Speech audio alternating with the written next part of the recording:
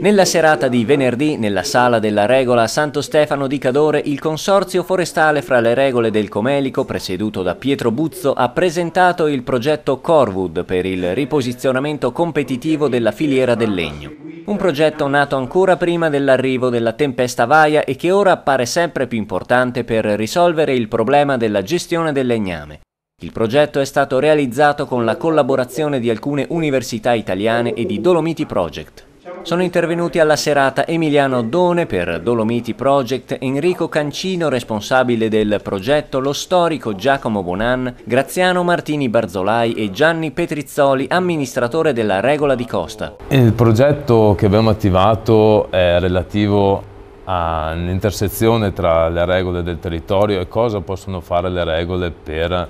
quelle che sono le attività economiche, quindi abbiamo voluto interagire con quelli che sono i comparti economici locali, dall'artigianato all'agricoltura, più che al turismo, per riuscire a cercare di metterci al servizio appunto del territorio come regole e creare un'economia circolare per tenere economia in territorio. Diciamo che questo percorso è nato per, per riproporre quello che è stato il consorzio forestale delle regole del Comelico che ha saputo valorizzare fino al 94 quando è stato sciolto per, per X motivi, eh, valorizzare le risorse sia legnose che territoriali e riuscire a creare economia per le persone del territorio.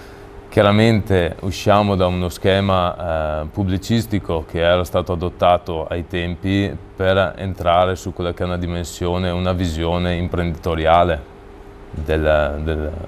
dell'attività consortile che dovrà nascere tra le regole appunto del territorio.